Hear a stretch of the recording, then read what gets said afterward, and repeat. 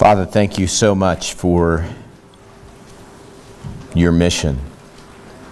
Lord, you didn't, uh, you didn't choose to live life alone. You are the great creator, the prince of life, the author of creation.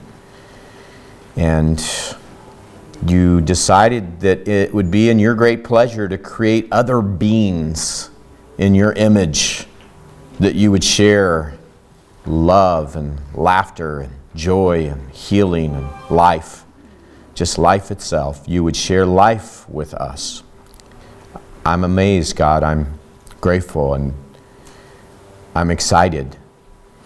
And to hear you say, Lord, that this is just a shadow, that our life here is just a glimpse. Uh, we don't have the mind to fathom what you have prepared for those who love you in the heavenly experience. I'm, I'm just flabbergasted, God. I, I just am uh, truly bewildered at your immense love for us, your desire to give us purpose, to give us a mission, to bring us joy, and, and to experience the uh, greatness of the diversity between love and hate, lost and found, light and darkness, joy and sadness, victory and defeat.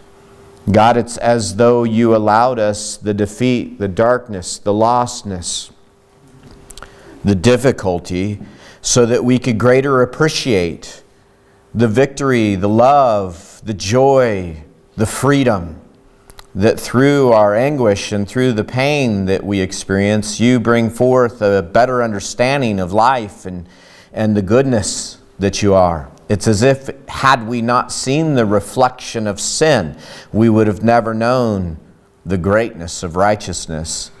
And so, God, I, I just, man, your plan is just unfathomable. It's just beyond me.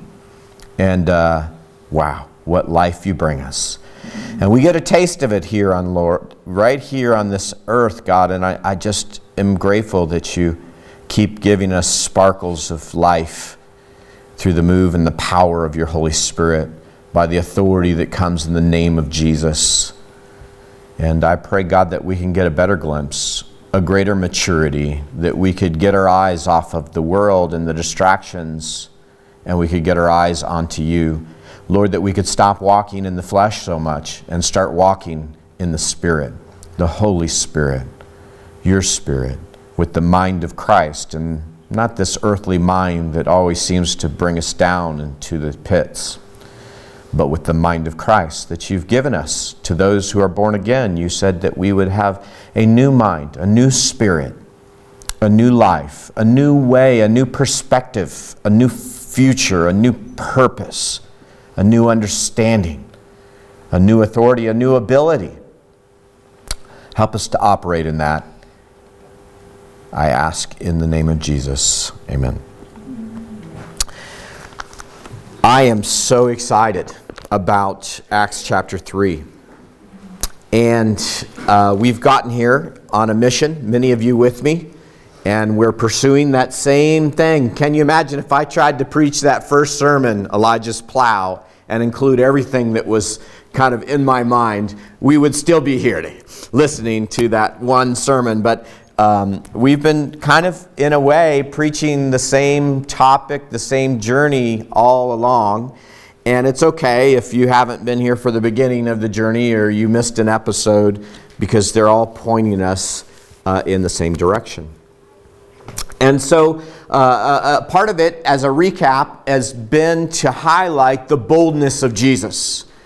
And we have seen how bold he was. We, we looked at specific stories that weren't to do with maybe the way he heals people or the way he interacts with people. I mean, the world is very familiar with his love, but we began to look at verses in which Jesus was audacious. He was uh, uh, unassuming. He, he assumed the moment and he was bold and he did things that, that might even cause a little stir in us, like how, by what authority, how, what gave him grounds to do that. And, and, and he was just uh, so unapologetically bold.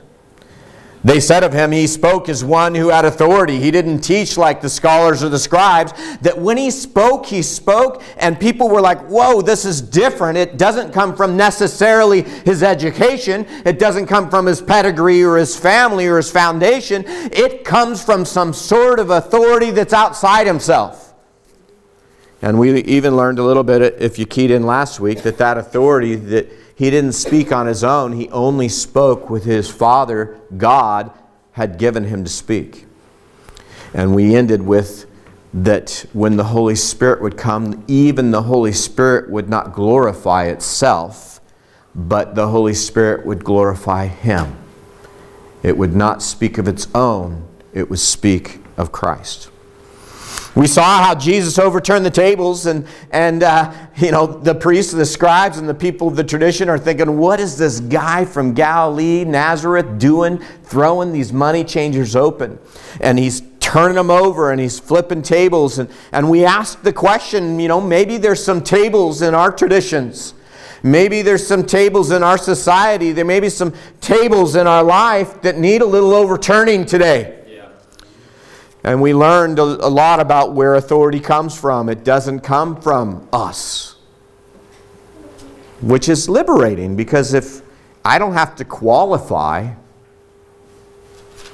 you know, if I don't have to be smart enough, strong enough, rich enough, in the right place, of the right family, of the anything, if I don't have to reach for some kind of earthly position and that I get my authority from God Himself, it's liberating because now all of a sudden we have license to do things that we would never have license to do. And then we talked a little bit in one sermon about Jesus not being intimidated. And, and he had dilemmas in which he was trying to please multiple parties. Please them, in other words, the zealots and the Herodians. We talked about the tax collectors and the sinners and, and how he, with his words, sometimes would say things that I for lack of better English, always call magical. He, he would spell out something and it would appeal to different sides and they would be drawn to him and they'd be like, yeah, he's the one. And yet, with a separation of the people that he was attracting, if you put them together, they didn't magically gel with one another. It's like church today.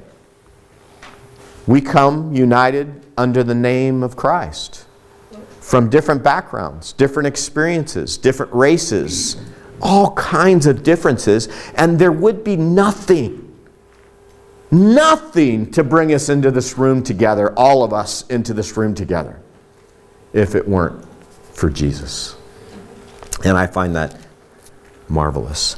And so, you know, as in this journey, it's kind of easy to come to the idea that, uh, well, that was Jesus. Of course, he was bold. Of course, he overturned tables. Of course, he wasn't intimidated. Of course, he could do the things he, he, he did because that was Jesus. But what about me? Can I be like that? Can I live like that? Unapologetically bold. Can I be under the same type of authority? And so that's where we're entering. We're entering into the book of Acts, and spoiler alert, the answer's yes. Yes. You can be like that. Tommy brought the verse that I am hoping to get to, and, and uh, that is truly in Acts uh, chapter 3 and verse 13. But I want to start, start in Acts 3, chapter 1, and just work there and we'll go as far as the Lord will let us go. First, I want to read a verse, and you don't have to turn there, but it's Matthew chapter 10, 24 through 28, and it's Jesus in the midst of his ministry, and he's talking about the effects of his words and how it causes people to accuse him of having demons. Jesus' words always divided. His, his words were never lukewarm. They landed hard on your heart, and they either changed you or they drove you away. That's just the way it was with Jesus. He was just a black or white kind of guy, as we would say it in today's vernacular. When he spoke, it had an effect on you. It either made you mad, or it made you happy. It made you get set free, or it bound up your heart and revealed the dark stone coldness that was already there. It's just surface stuff.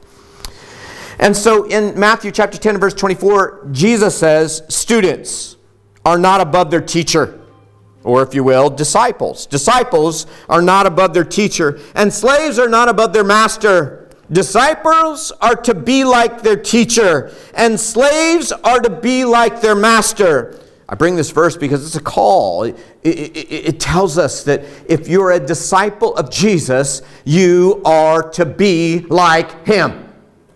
And you should become more and more like him and less and less like you. Now, there are attributes that God put in you that are like Him, and you get to keep those. But there are other attributes in you that are not like Him. And if you plan to follow Him, you need to shed those. Paul, even in his great maturity and his old age, while in prison for Christ, says to the Philippians, I die daily so that Christ can live in me. He's still crucifying little pieces of his flesh, his character, his personality that needs to get out of the way so that God can live clearly and in him and through him. And Jesus makes this call, and since Jesus is the master of the household, has been called the prince of demons, the members of his household will be called even worse. Jesus is letting his followers know that if they did this to me and you're following me, they will do it to you. Because the world hates Christ. No, you know, the world loves aspects of Christ. It loves the love of Christ. It loves the grace of Christ. It loves the mercy of Christ. It might even say it loves John 3:16. But you know, this is a very big Bible. And it contains a lot more than John 3:16. And I love John 3:16, so don't mismark my words as, as, as trying to tear anything out of the book. Actually, what I'm trying to do is put everything back in the book. And so part of the character of God is, is righteous, it's virtuous, it's pure, it's holy, it's indignant, it's determined, it has purpose, it's life giving. And those things are not always attractive to our world. Because our world loves greed, it loves pride, it loves self attainment, it loves autonomy, if you will. It wants to be independent. And I don't have any code thing going on here, so I'm just talking about us. Amen. And so he's trying to prepare his disciples. He said much. He said in verse 25 of or 26, I think it is, of this Matthew, don't be afraid of those who threaten you. For the time is coming when everything that is covered will be revealed, and all that is secret will be named, known to all. What I tell you now in the darkness, shout abroad, abroad when daybreak comes. What I whisper in your ear, shout from the housetops for all to hear. Don't be afraid of those who want to kill your body. They cannot touch your soul. Fear only God, who can destroy both soul and body in hell. Jesus is trying to prepare his followers to equip them with the same level of boldness, the same purpose, the same distribution of determination. And he's letting them know what they gonna do to me, they're gonna do to you. You know, a person who has no relationship with Christ and hasn't come to really love him might go, Well, what they did to Christ, I don't want to be done to me. Therefore, I don't want to follow him to that level. And I will say simply that you have not been truly born again if you're not ready to participate in the sufferings of Christ. Baptism itself is a symbol of the death, your death, and His, the burial, your burial, and His, and the resurrection of Jesus Christ, His resurrection, and yours.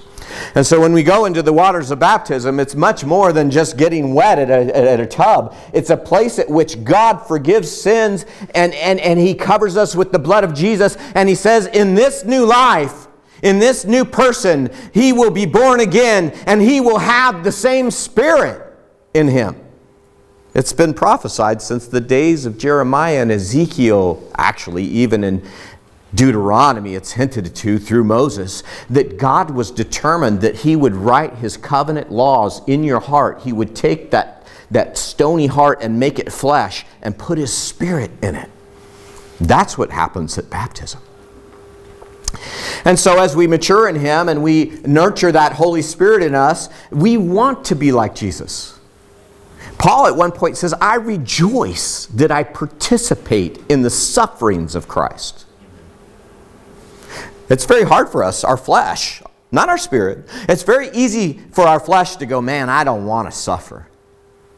But on the flip side, our spirit says, I rejoice that I participate in the sufferings of Christ. Now, let me delineate. Sometimes we suffer for things that weren't anything to do with Christ. And both our flesh and our spirit cringe because we're paying the penalty of our own choices. Choices made in the flesh, not in the spirit. Hopefully, that's not too complicated. Acts chapter 3 and verse 1.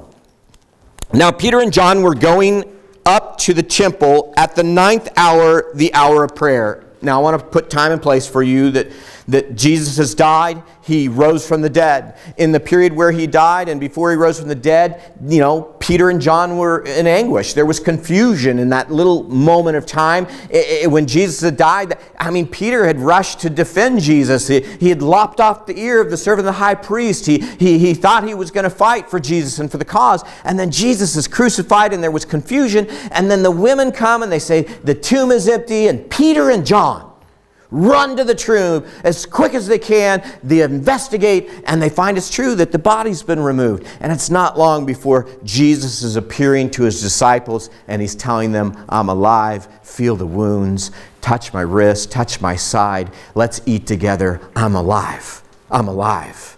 And it's revolutionary. And there's a little bit of confusion. I mean, he's been teaching for three years, but it's not like it all soaked in. It's not like they got one lesson and now they're ready for the next one. They, sometimes the scriptures even tell us they will reflect back to the things he did and said. Uh, I remember the scripture says that in regards to the flipping of the tables.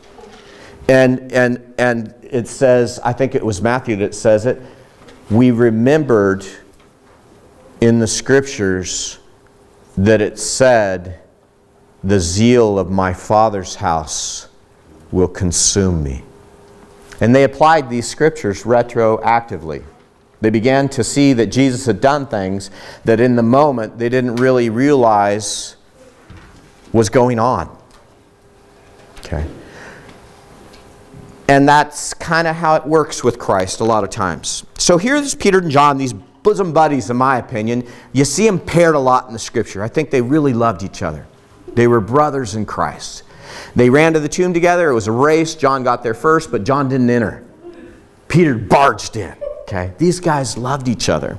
And they're going to the hour of prayer. The resurrection's happened. Peter's heart has been repaired. There's a great story in the last chapter of John in which Christ interacts with Peter and, and says, You know, I, basically, I know you denied me, but Peter, do you love me? And, and he helps Peter to realize that, yes, you do love me. Because a lot of times the actions we, we commit sing a different song.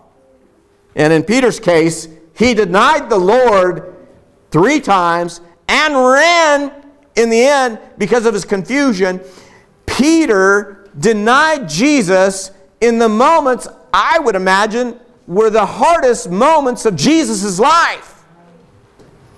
And so it would be very easy after you've been the betrayer, after you've denied Jesus, after you've failed, after you've sinned, when you know you think you know that you should have been better than you are, and you don't perform the way that you thought you should, and so you fall to the ground, and then you get to see the Lord again, all you're filled with at that moment is shame. Because you betrayed the one you love the most. But you can't even tell him you love him because you think everything you did screams the opposite. It screams, I'm a coward and I did not demonstrate my true love for you. And so Jesus comes and, and heals his wounded soul. Because, you know, the devil is the one, he's the accuser night and day, accusing God, uh, accusing you before God of, of your sins. He's the one who brings them to account and says, Look, your, your son, your born again son, your born again daughter did this. Your son, your born again daughter did this and they did this, and this screams against you, and this screams against you, and this screams against you. And night and day, the accuser, the, the Satan, the, the, the serpent, the devil, he is there to destroy, to kill, and to tear your life, to divide you. His one purpose is to get you stripped away from the Holy Spirit, to kill that spirit in you. And there's the blood of Jesus. That's what it's for. That's why he shed it. Because you can't do it. You can't. As much as you love God and as much as you do everything you can to please Him, you just can't do it. But His love is so great. He did it for you. He paid your price of death. He said, You know what? Your sin separates you from your God. But I never sinned. I will take your penalty for you. And that's the gospel. And here are Peter and John going up to the hour to the temple to pray. It's the resurrection. They're, they're, they're, they're the rejuvenated Peter and John. These are the ones who kind of have their mission now and they're getting it straight. And they go up to pray. And and there's a lot of things that flood my mind. I'm like, why are they going up to pray? Didn't they just abandon that whole Judaism thing and start the new Christian thing? No, no, it just didn't go like that. It was a gradual process. This thing we call Christianity to become the way it's morphed into the way it looks like today and the way it looked then. They got up to go to the hour of prayer because that's what they'd done all their life. And uh, just because Jesus was the messianic Messiah of the Jews didn't mean that they all of a sudden abandoned everything they understood that Judaism taught them to do. But does that mean we need to have a rule that we pray three times a day on five days of the week and we go up to the hour of prayer? And, and so all that stuff hadn't been worked out yet. But they're still praying and they're together and they go up to the to the temple to pray, and there's a certain man there who had been lame from his mother's womb, but was being carried along, whom they used to set down every day at the gate of the temple, which is called Beautiful, in order to beg alms of those who were entering the temple. Later in chapter 4, verse 22, we're going to learn that he was 40 years old. Okay. He's 40 years old, and this scripture tells us that from his mother's womb, he's been lame. Well, I'll tell you one thing that means. That means this guy has never walked. Yeah. Never walked. It's not like he lost his ability to walk. He never walked. And so, in the miracle that we're about to read, he, he begins to walk. There's not just the miracle of the restoration of his physical body, but there's the restoration of an understanding he never had. There's the understanding of balance that he never had. You don't have to think about balance until you get a little older again, when you're young and then when you're old. But in the middle, you don't have to think about balance. You can walk without ever thinking about it. This miracle was so perfect that it instilled with him the capability to walk. I mean, if it had just been physical, he still wouldn't have known how to walk. But he gets up, he doesn't just walk, he leaps and he dances. And when he saw Peter and John about to go into the temple, he began asking to receive alms. That's what he'd done all his life. And Peter, along with John, fixed his gaze upon him and said, Look at us. And he began to give them his attention, expecting to receive something from them. It's what he's done all his life. Okay, this guy's demanding that I look at him. He's ashamed. He looks down. He's never been really into the inner courts of the temple because you're not allowed to go into the inner courts of the temple if you're lame. He's never even been in there. He may have gotten as far as the, the court of the Gentiles, I don't know. But he didn't get anywhere where his fathers or his, his grandfathers were privileged to go. He'd never been able to get that close to the presence of God. He'd always had an interruption. There'd always been something lame in him that inhibited him, something he couldn't change, something he had nothing to do with, something that he was born with that just stopped him from getting to the presence of God.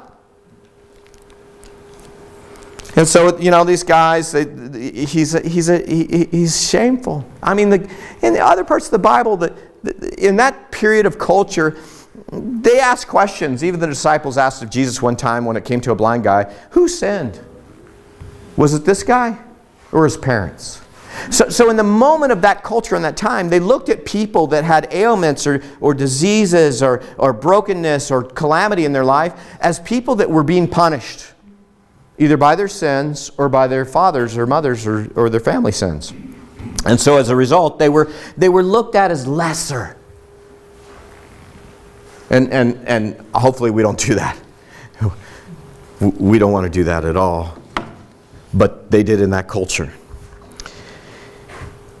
And so he had a natural look down kind of thing. I, you ever meet people that, that that's all they do is they look down? They walk down and I mean, and they generally, without you even thinking through the process, you, you generally assess that that person does not have a very high self-esteem. Okay. Well, that was this guy. And, and so Peter says, Look at us. Lift your head a little bit. Look at us. And verse 6, Peter said, I do not possess silver and gold, but I do have something to give to you. In the name of Jesus Christ, the Nazarene, walk. Wow. One thing is he's, he's not expecting it. At the best, he's expecting a really good gift of super silver coppers, uh, some good money. He's not expecting Peter to walk up and say, in the name of the guy who died and is rumored to have resurrected recently, get up and walk. It's just, I don't believe it even crossed his mind. From the text, we see that he expected to receive something. I don't think the something was that the chains in his life that he'd had all his life would suddenly be broken. And seizing him by the right hand, he raised him up, and immediately his feet and his ankles were strengthened. I believe that Peter literally kind of has to seize him by his hand and pull him up to bring him to realize what just happened to him. I don't think he even understood it. And this is just me and my thinking, but I don't think he even understood the power that had just gone into him. I don't think he understood the healing that had just occurred. And so he needed that brotherly helping hand. He needed somebody to reach out to him and grab his hand and lift him up. And I think it's kind of like that little video we saw. At that moment, he, he pats his legs. He's having feeling and then he's overwhelmed. The Bible says his, his feet and his ankles were strengthened, which is interesting. The Bible, this portion of the Bible is written by Luke, and so a lot of commentators mention the fact that, that uh, Luke um, is a doctor, and so he takes time to use doctor terms in Greek. So there are different terms for different things, just like in English. So in Greek, he uses like the medical terms, and he says basically, this guy started to heal from the bottom up from the feet to the ankles up. Okay. And so I thought that was pretty neat. And, and with a leap, he stood upright and began to walk. And he entered the temple with them, walking and leaping and praising God. The first time in his life. And all the people saw him walking and praising God, and they were taking note of him as being the one who used to sit at the beautiful gate of the temple to beg alms, and they were filled with wonder and amazement at what had happened to them, to him. They'd wondered what happened to him. I mean, this guy, for all we know, has been sitting there off and on for 40 years. Uh, sometimes we suffer for a week and we're like, Lord, how long do I have to suffer? He gets up. He's walking and leaping. People can't believe their eyes. That's the thing about many of the miracles that God performs is they're undeniable. When God does something, it's undeniable. Nobody could say this is not the guy. It's his twin. Back in the factory, they cloned him and they brought out a guy who wears the same clothes and acts the same way and talks the same way and looks the same way and everything's the same way. But this one doesn't have the lameness that the old one does. That's what you'd have to produce. That's the level of lie you'd have to produce to deny the miracle that had just occurred. And while he's clinging to Peter and John, it's no wonder, wouldn't you, if, if you'd just been uh, set free from the bonds that had bound you all your life, that you stopped a long time ago dreaming that you could even change or be healed. Long time ago, I wonder, maybe at 15, maybe at 18, he had stopped even thinking about being healed. He had stopped even thinking about walking. He had accepted his weakness, his brokenness, his low level of society. He had accepted it, and his face was downcast, and he would stare at the ground because that was his life, and he absorbed it into himself, and that is who I am. And yet it's not all of a sudden, and so he's clinging to Peter and John. Makes sense to me. All the people ran together to them at the so called portico of Solomon, full of amazement. I would be in the crowd running to see this too. But when Peter saw this, he replied to the people, Men of Israel, why do you marvel at this? Or why do you gaze at us, as if by our own power or piety we have made him walk? Oh, this is amazing. When Jesus healed people, they looked at him. They knew he was the healer. And he never rebuked them. You know, there are people in this world today that have formed into religious groups who think that Jesus was not God in the flesh, he was just something else. But one of the greatest testimonies of his piety, of his godliness, is the fact that he never deflected praise to himself. If you praised him, he took it right in. He never deferred the fact that, yeah, I did that healing for you. But at this instance, Peter and John are saying, We did not heal you. Don't look at us as if it was by our power that this happened because we are powerless. The God of Abraham, Isaac, and Jacob, the God of our fathers, has glorified his servant, Jesus, the one you delivered up to Pilate when he had decided to release him. But you disown the Holy One, the righteous one, and ask for a murderer to be granted to you. And you put to death the Prince of Life, the one whom God raised from the dead a fact, a fact to which we witness. Peter is quick to let him know, you know what, this guy was not healed today by my power or my piety. He wasn't healed by my holiness. He wasn't healed by my godliness. It's the same uh, word in Greek that's used in 1 Peter 1 7 that, should, that has a list of things you should add to your faith. And one of the things you should add to your faith is godliness. This is that same word. And Peter is saying, It's not because of my godliness, it's not because of my piety that I have, uh, uh, have within me that this guy can walk today.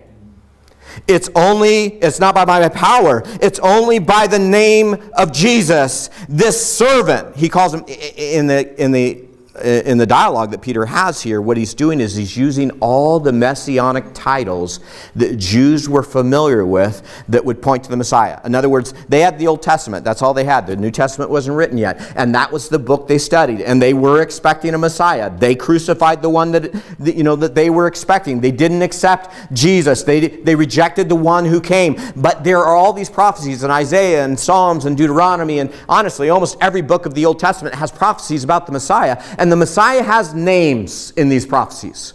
One of the great names that we hear a lot in Isaiah is the servant. Another name in verse 14 he uses you you crucified you disowned the holy one in the Psalms often the messianic scriptures describe the Messiah that's coming as the holy one and and the righteous one and he caps it off with giving him the title the prince of life and this word Prince of Life, it could be in translation, it could be the captain of life, it could be the source of life, it could be the origin of life, it could be the author of life. We've been studying about this author of life every Sunday morning in our Bible study with Richard. And if you don't come, come because it's so worth it. Always be prepared to give an answer for the reason that, for the hope that you have. You're supposed to be able to defend your faith. And if you don't already have that understanding of how to defend your faith against atheists, against evolutionists, against the science of this world, then come on Sunday mornings and, and learn a little bit. It's worth it. But, you know, here's Peter saying, Yeah, you guys crucified the one you were waiting for. And they understood all the titles that Peter rambled off. They understood exactly what he was talking about, and he was pointing to a lot of verses when he said that. And in verse 16, and on the basis of faith in his name, it is the name of Jesus which has strengthened this man whom you see and know, and the faith which comes through him has given him this perfect health in the presence of you all. Uh, in the Greek, it, it, you know every translation sounds a little different, but he says, "And on uh, upon faith in His name." Upon faith in his name, this man is healed. Whose faith? Was it the faith of the lame man? No. Apparently not. He got hit by the broadside of a truck and could walk again and didn't even know it was coming. He didn't wake up that day thinking he was going to get anything else than a few coins in his bucket. This guy was hit with healing and it had nothing to do with his faith. What I have, he looked up expectantly. I could say at least he had that. He had faith enough to believe he was going to get something from Peter and John. Looked up expectantly, and the first words out of Peter's mouth are, I'm broke. How often do you do that to the beggars you cross in our society? Aren't, aren't, aren't many of you glad that we carry credit cards now and not cash because we don't have to give it to the beggar anymore? Mm. Yeah, it's weird. I, I think the beggars on the street corner should, should hold up one of those QR codes. QR me. Venmo, Cash App. Might work for a little while. This guy, instant di disappointment. I ain't giving you any gold or silver. But what I got, I'm going to give to you. Rise up and walk. So, did Peter have that to give to him? Well, in that moment, he surely did. Did Peter always have that at his disposal to give? Was it Peter's discretion? I get to heal this one today, but I'm going to ignore the seven others that are sitting on the steps down the road from him. What determined what person would get healed and what person wouldn't. We never read about Peter going into the, the, the to the, uh, well, even Jesus, when he went into the pools of Bethsaida and he finds the one guy that's sitting at the pool waiting for the angels to stir the water and he heals that one, it's surrounded. The guy complains that I can't get in the pool because everybody cuts in front of me. I can't get my healing. I've come here all the time. It's been a long time. I haven't been healed, but I can't get my healing because I'm, I'm just not in the, the rank of importance. It's like a guy waiting for a kidney transplant and he's 80 versus a 28 year old waiting for a kidney transplant. 28 year old's going to get it. That's how that guy felt, and Jesus picks him out for whatever reason, and he heals him. And we leave the scene. And we don't think about the 30 other people that are there that were never healed. We got we, we want this kind of thing that is really socialistic. And it's the idea that everybody gets the same treatment. We think that's fair. And we wrestle with that all our life. From the day you're born, you begin to wrestle with what's fair.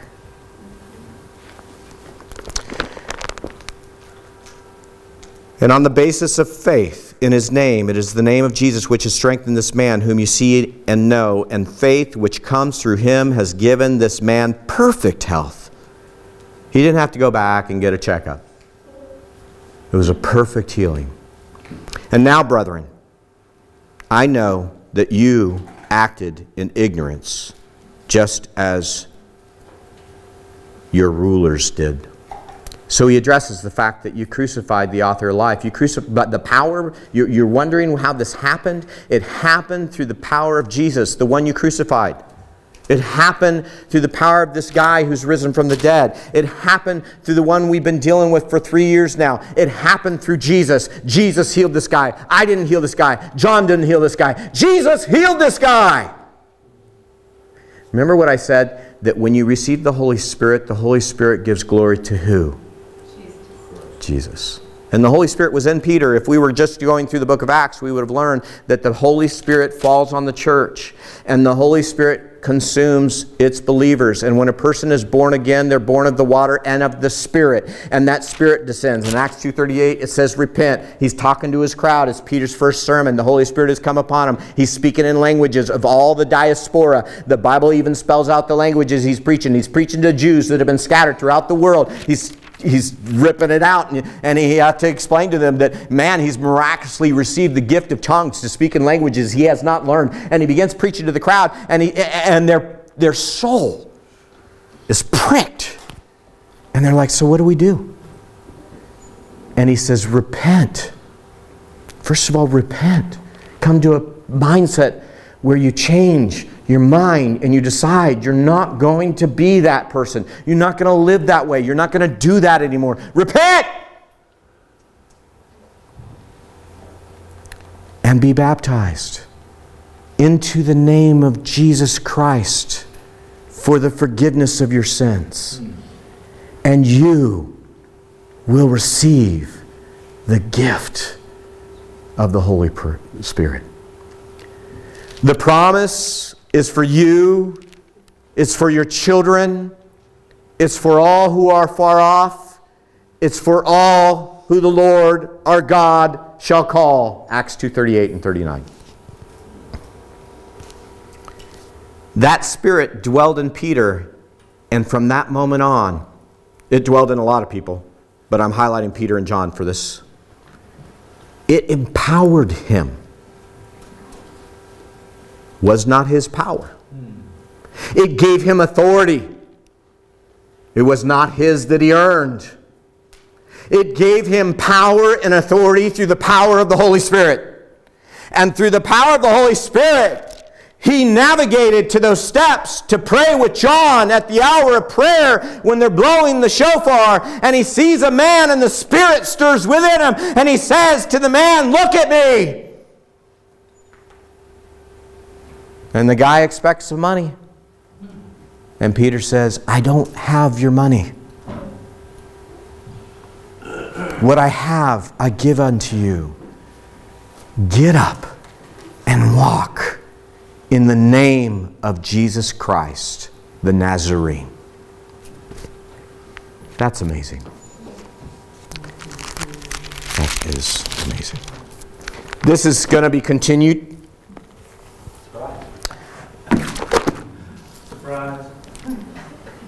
And I, spoiler alert, you can read ahead.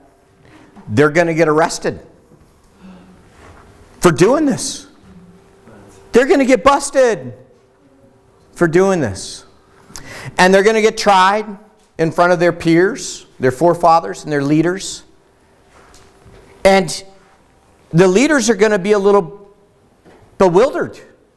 They're going to go, wait, these guys are ordinary and unschooled dudes. They're immediately going to realize that Peter and John are like nobodies. They're ignorant. They're unstable. They're just, they're just the word in Hebrew, and it doesn't mean idiot, but the word in Hebrew is idiotes. It means that, that, that, that it has to do with the, they're unschooled. They, they look to themselves for their understanding. They're idiotes. And then they say, because they're marveled. They're marveling at the bold, unapologetic drive of these guys. I mean, we just dealt with Jesus. Now we're dealing with Peter and John. We just dealt with Jesus, and he was frustrating. But look, now we're dealing with two guys, and they're just like him. Darn it.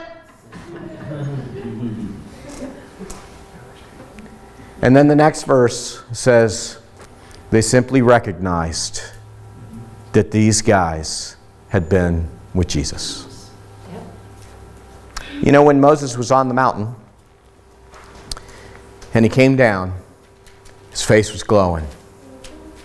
Bible says it was glowing so much the people were afraid of him.